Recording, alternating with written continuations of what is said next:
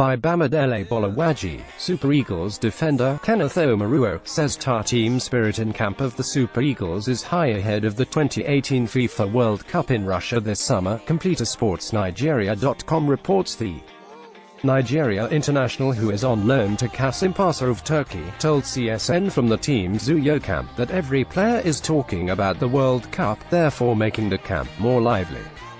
The 2013 AFCON champion assures that he's not feeling any pressure as they continue the build-up to the World Cup.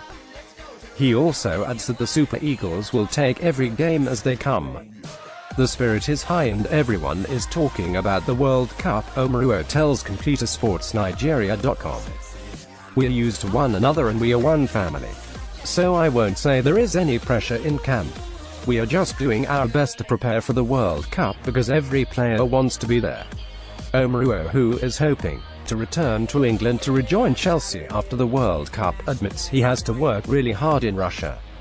He states, yes, every player knows that, I have to work hard in Russia because after that we will be talking about the price season and that is where the focus of coaches will be shifted to.